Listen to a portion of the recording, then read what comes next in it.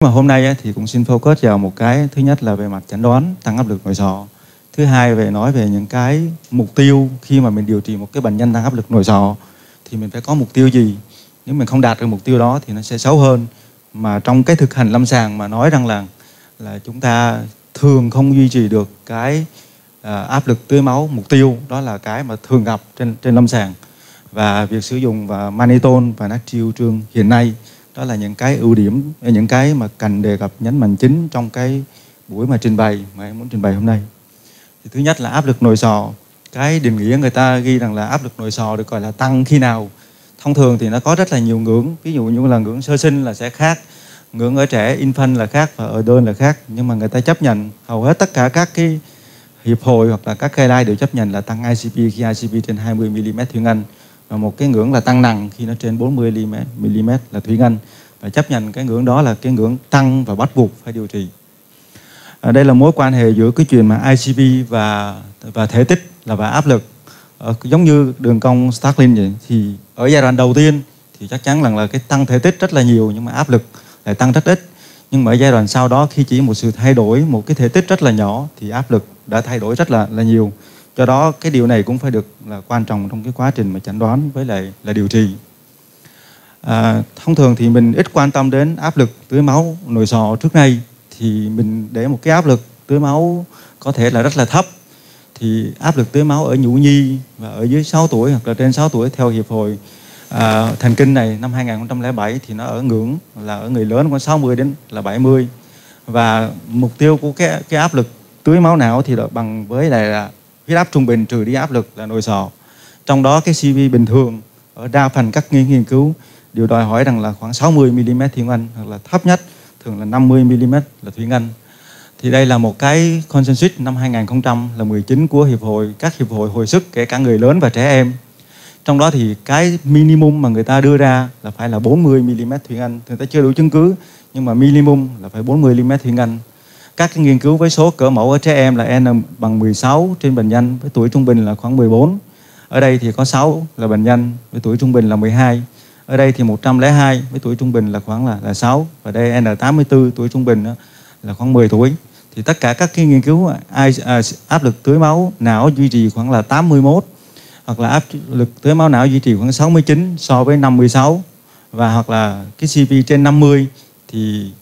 điều cho thấy rằng là tỷ lệ tử vong ao khơm tiên lượng của cái chuyện đó, kết quả điều trị tốt hơn. Và một khi nó sẽ xấu khi mà ao khơm đó, khi mà áp lực tưới máu duy trì dưới 40 mm thủy ngân và tất cả hầu như là điều là cho thấy rằng là các guideline đều cần đạt một cái áp lực tưới máu ở mức là 50 đến 60 mm là thủy ngân và sốc thần kinh là một cái vấn đề mà rất là ít gặp và ít tài liệu nói đề cập đến cái chuyện sốc thần kinh ở trẻ em và cả người lớn. Chỉ có hiệp hội thần kinh của Mỹ phẫu thuật thần kinh của Mỹ thì người ta khi mà sốc thần kinh khi mà bệnh nhân có huyết áp tâm thu dưới 90 thì người ta điều trị và người ta duy trì map của bệnh nhân đó, khoảng từ 85 huyết áp trung bình khoảng là 85 đến 90 trong vòng là 7 ngày đầu tiên và duy trì liên tục như vậy.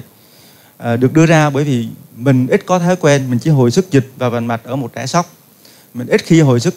dịch và mình sử dụng vành mạch ở một trẻ mà huyết áp của nó là có thể là bình thường. À, 50 đến 90% của bệnh nhân mà chấn thương cột sống cổ thì cũng đòi hỏi sử dụng vành mạch để mà duy trì một cái map khoảng 85 đến 90 mm thủy ngân trong vòng là 7 ngày và người ta sử dụng dịch vành mạch ở trẻ em để duy trì CPP ở trong cái khoảng mà từ 50 cho đến 60 thì MAP đó phải đòi hỏi khoảng 70 đến 80 mm thủy ngân. Cái điều này là yêu cầu cơ bản khi mà điều trị.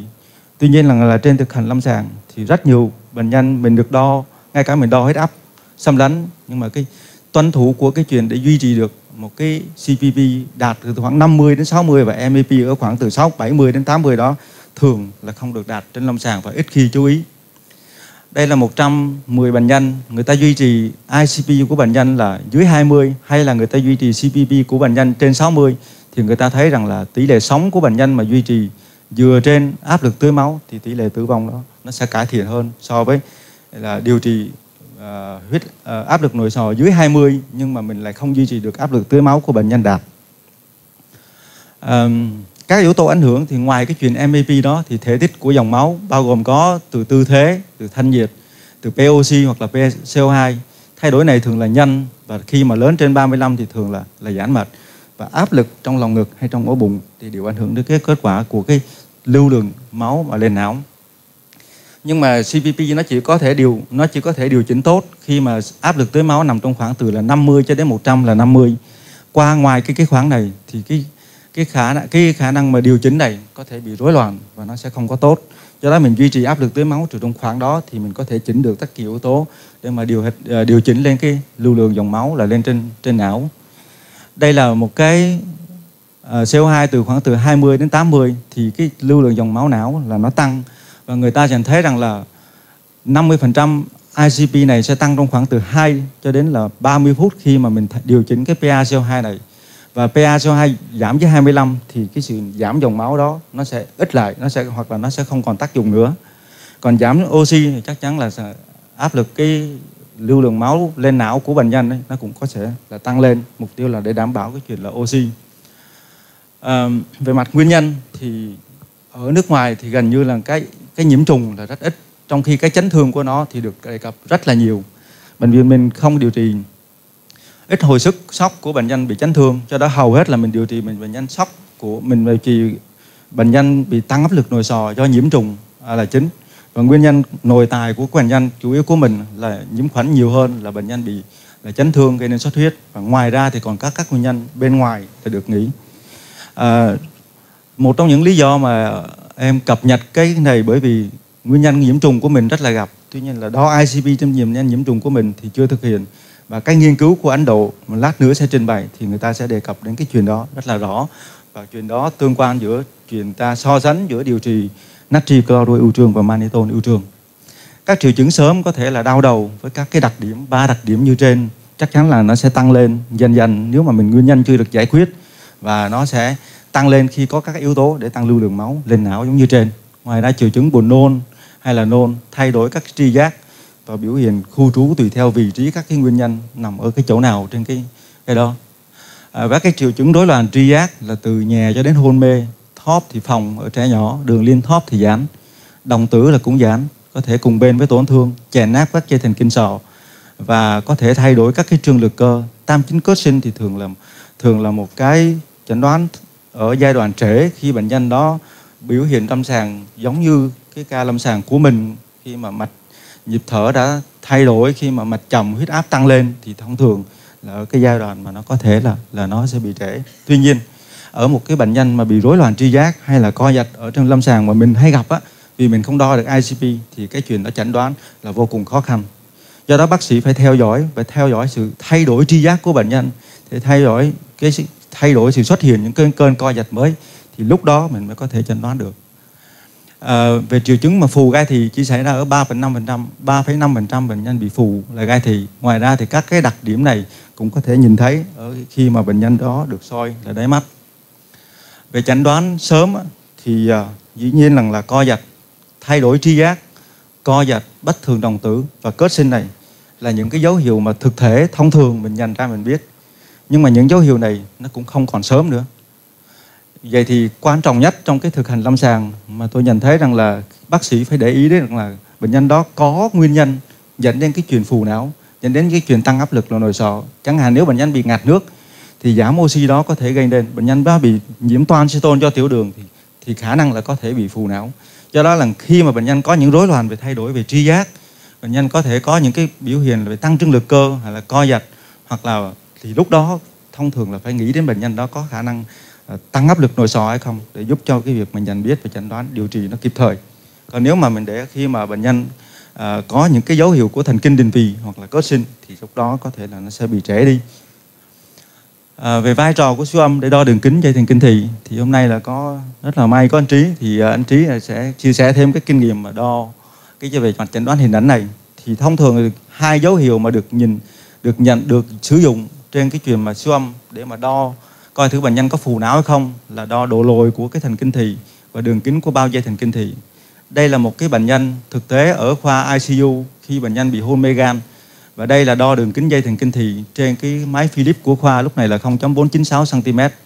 Đây là cách mà người ta có thể đo, thì à, người ta đo đường kính của bao dây thần kinh thị khi mà hình ảnh trên siêu âm này tương ứng khi mà mình nhìn thấy thì lát nữa anh Trí chia sẻ thêm các kinh nghiệm về đo đường kính của dây thần kinh này trong việc chẩn đoán thì người ta thấy rằng là ở 30 bệnh nhân trên 148 lần đo, khi ICP của bệnh nhân trên 20 thì người ta thấy rằng là đường kính này trên 4 mm thì có diện tích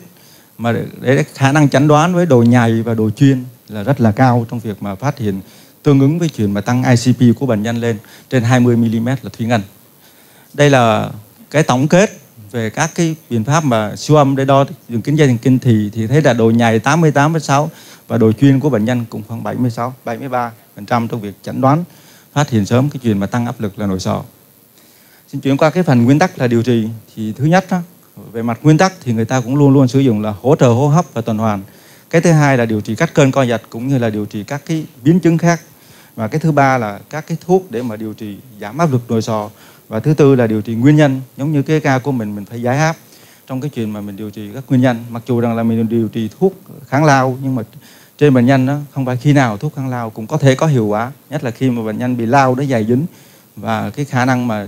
dẫn lưu nó cũng kém. Khi mà thuốc chưa mình chưa kể là mình làm được có bệnh giống như cái ca của mình là nó khó để mà tiên đoán được là nó đáp ứng hay không. Bởi vì còn phải điều trị dựa trên kết quả đáp, đáp, đáp ứng điều trị lao của bệnh nhân bị viêm màng não.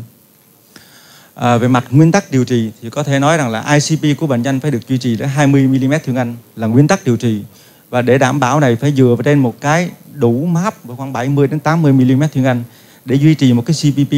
nằm trong khoảng từ 50 đến 60 mm thương anh và phải tránh thêm các yếu tố để làm nặng thêm tình trạng tăng áp lực nội sọ của bệnh nhân. Chuyện này rất quan trọng. Ví dụ như người ta nói bệnh nhân là ngạt nước, mình tới bệnh bệnh nhân khi tới bệnh viện chưa chắc mình giúp được người ta nếu nó đã phù não thì mình đừng có những cái động tác của mình và những cái điều trị của mình đừng nặng đừng làm nặng thêm cái tình trạng là phù não là, là của bệnh nhân. Bên cạnh cái chuyện mà mình cố gắng mình điều trị. À, về mặt chỉ định hô hấp thì một khi bệnh nhân bị rối loạn tri giác hoặc là bệnh nhân đó có sốc thì chắc chắn được đặt nội khí quản được để ra rất là sớm. À, đặt nội khí quản có thể rất là sớm khi Glasgow bệnh nhân của bệnh nằm ở khoảng 12 13 điểm. Còn những cái triệu chứng sau thì chắc chắn là đặt nội khí quản là sớm hơn. Việc đặt nội khí quản cũng được rất là phải cẩn cẩn trọng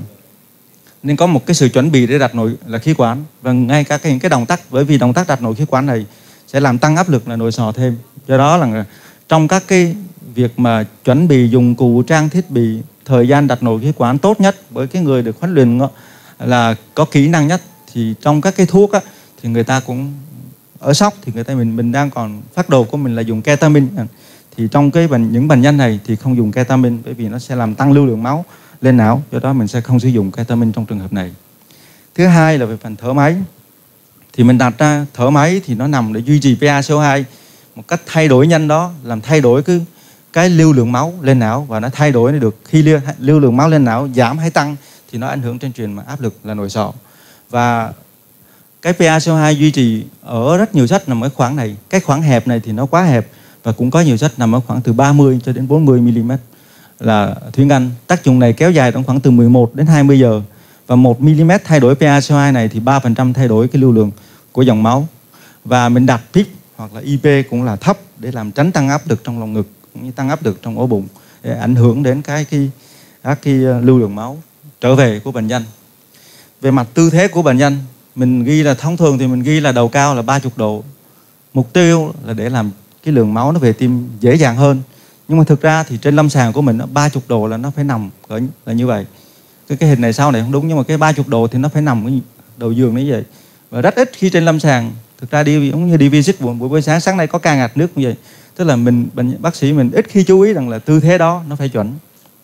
Mỗi cái điều trị đó là mỗi cái chuẩn thì giúp cho bệnh nhân đó nó nó cải thiện được cái, cái lưu lượng máu lên để mà cải thiện được cái áp lực là nội sọ à, cái thứ hai nữa là sốc thì phải giống như hồi nãy giờ đã đề cập đến là huyết áp map trung bình này phải duy trì tối thiểu cũng phải là 70 mm thủy ngân để tránh làm chuyện mà giảm thêm. Cái áp lực là là, là tưới máu não. Trong bệnh nhân chấn thương đầu tiên á, thì người ta chấn thương đầu ở trẻ em người ta không có cái số để người ta đưa ra. Nhưng mà trong cái chấn thương đầu ở người lớn á, thì huyết áp trung bình người ta duy trì giới hạn cao nhất là nằm trong khoảng 90 mm thủy ngân. Và thời gian duy trì này là 7 ngày. Người ta sử dụng dịch người ta sử dụng thuốc để mà người ta, đặc biệt là norepinephrine và dopamine để sử dụng dịch. Dopamine thì có thể có gây nên lời nhiều thẩm thấu, do đó cũng phải cân nhắc. Dịch truyền thì khoảng 80 đến 90 phần trăm nhu cầu. Trước đây mình sẽ hay sử dụng 2 phần 3 và đặc biệt là không cho dung dịch nhược trương. Có rất nhiều trường hợp mình cấm là detro ờ, năm phần trăm, mình cho chảy 50 ml giờ. Nhưng mà nếu mà tính ra, có thể là, có thể nó ít, nó chưa đủ cả cái nhu cầu. Nhưng mà nó có thể là bệnh là không làm bệnh nhân tăng hay giảm đường huyết thêm nhưng mà nó làm cái lượng dịch của bệnh nhân nhập vô mỗi ngày là rất lớn. Và cái lượng dịch mà nhược trương đó cũng có thể góp phần những cái chuyện là phù não. À, về thuốc điều trị tăng áp lực nội sọ thì mình chỉ có bốn thuốc này. Trong đó hôm nay xin trình là manitol và natriu trương lời tiểu cho những bệnh nhân mà bị dư dịch và steroid cho những bệnh nhân mà bị u não. À, về manitol thì tất cả các cái trường hợp hầu như là hiện nay là chỉ định trường hợp là tăng áp lực nội sọ và manitol thì tác dụng nhanh nhưng mà nó cũng có bất lợi chính nằm ở cái chỗ mà giảm thể tích. Nếu bệnh nhân đó có bị giảm thể tích tuần hoàn hoặc bệnh nhân đó sốc thì lúc đó sẽ chống chỉ định của truyền là manitol. Và cái bất lợi thứ hai của manitol đó là nếu mà nó sử dụng kéo dài nếu khi mà sử dụng mà kéo dài trên trên nhiều ngày từ 3 ngày 5 ngày 7 ngày trở lên thì tác dụng nó sẽ không có. Và cái thứ ba nữa là nó có hiện tượng là rebound. Thì đỉnh tác dụng là 4, 15 đến 30 phút sau và có thể kéo dài là đến là 6 giờ và lưu ý là không truyền chung với cái cái đường chế phẩm máu. Về natri cloro ưu trương thì chỉ định khi mà mục tiêu của mình là duy trì natri trong khoảng 150 đến 155 mm và thông thường thì mình mình sẽ cho rất là dễ dàng khi mà natri của bệnh nhân là thấp. Và ưu điểm là nó làm tăng thể tích tuần hoàn, do đó nó sẽ tốt hơn cho những cái bệnh nhân là có sốc. Và hiện nay thì mình có hai cái cái cái cách mà mình sử dụng là là truyền bolus hoặc là mình sẽ cho là truyền là liên tục. Và truyền mà mình theo dõi natri trong quá trình điều trị đó là bắt buộc để tránh trường hợp mà tăng natri của bệnh nhân là có thể xấu. Natri truyền liên tục hay là bolus hiệu quả như thế nào thì đến nay uh, Cochrane cũng mô tả rằng là hiệu quả về mặt trên cải thiện về outcome là giống nhau.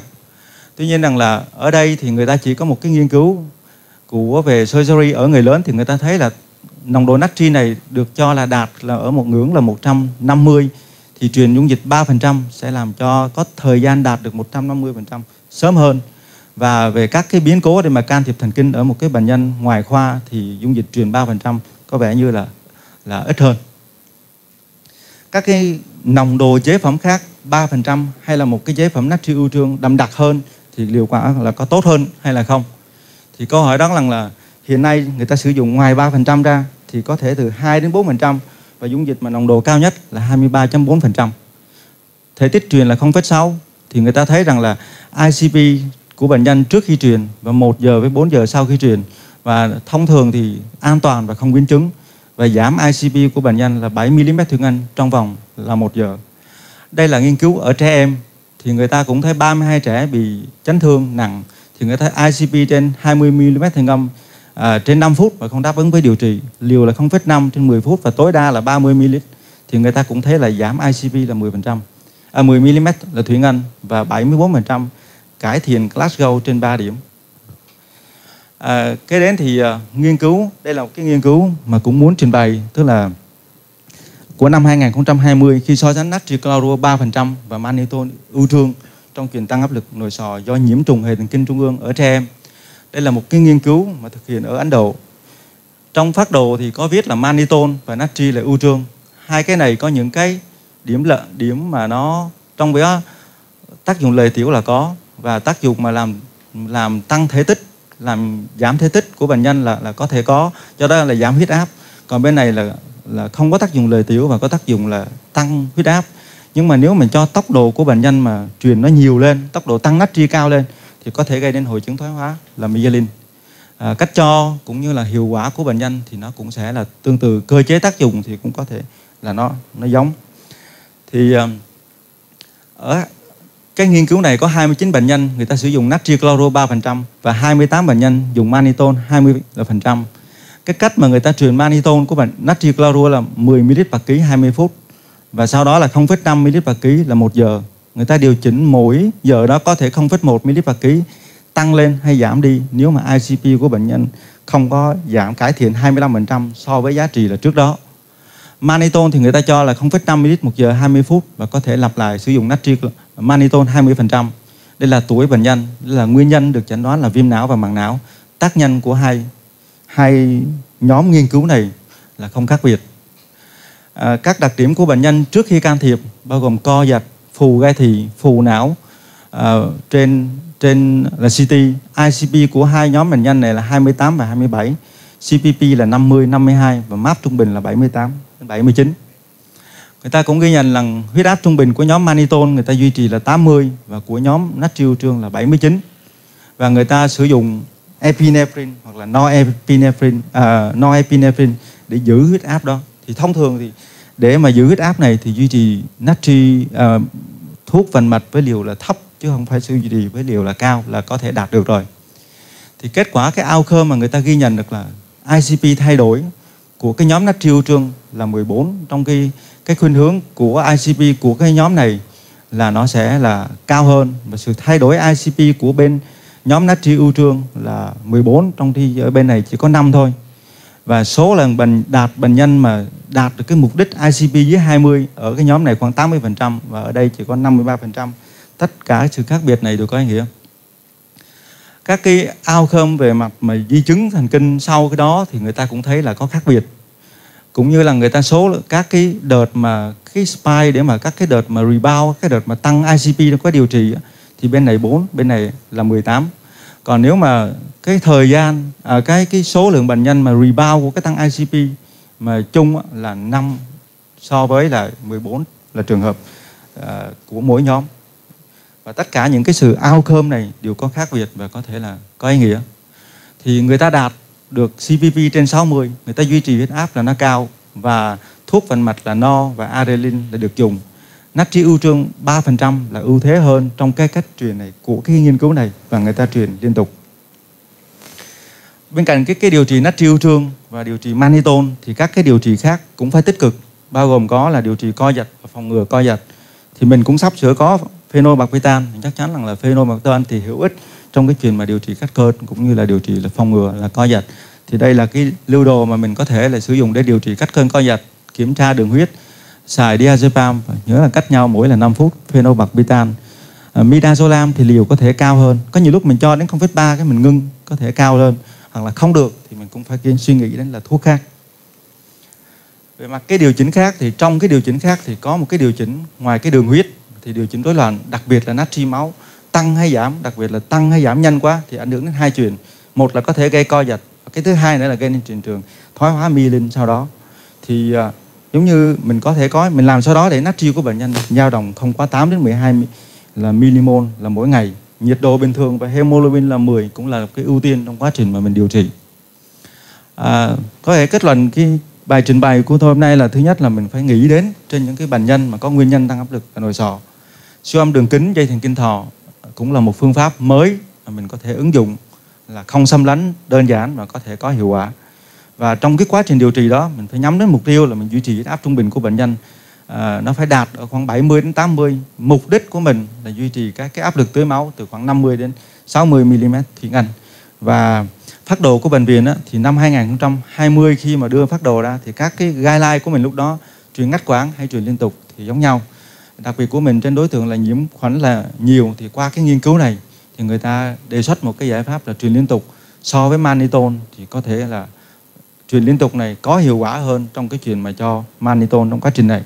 Hiện nay mà nói giống câu hỏi của thầy là tất cả các cái guideline mannitol đơn thuần natri chloride đơn thuần hay phối hợp, cả ba biện pháp đó đều có hiệu quả như nhau. Và ứng dụng dựa trên các cái ưu điểm của từng bệnh nhân để cho chỉ định các cái đó là để mà nó có thể làm giảm áp lực nội sọ ví dụ như bệnh nhân đó giảm thể tích thì phải cho natri trương bệnh nhân đó bị rối loạn, bị bệnh nhân đó bị rối loạn đông máu, hoặc là bệnh nhân đó bị suy thận thì phải là natri trương natri của bệnh nhân cao quá thì phải cho manitol thì đó là tùy theo cái cái tình huống lâm sàng cụ thể để mình có thể, cá thể có cái điều trị này. Xin cảm ơn.